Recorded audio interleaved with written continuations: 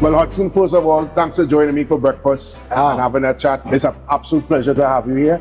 Uh, first and foremost, of course, Hutson Charles, known for his iconic goal for Trinidad and Tobago in, in that game against the US. But more importantly, Hutson, where did it all start for you as a player? As a youth, growing up along the East Dry River, that was my beginning there. Back then, did you did you have a goal or dream to, to go on elsewhere in terms of national team football? Well, actually, um, after this game Mm. in the stadium, you know, we had screening the next day for the under 19. Right.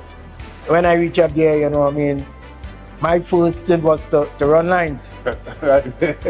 And actually, the, the, the head coach, he said, you don't need to see me anymore. so I so the pick was short. Of course. you know, so way back in 88, Gally came into the picture. And, you know, he keep the nucleus of that team.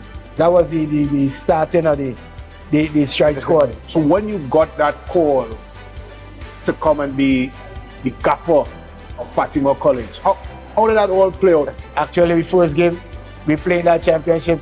We lost. We lost to Tranquil. After that loss, we won all the rest of the games in, in, in the North Zone.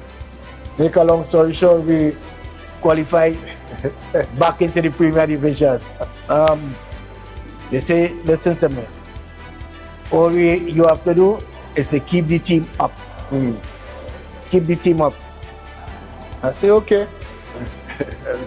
Go on on the training pitch. I say, Sutton, listen to me.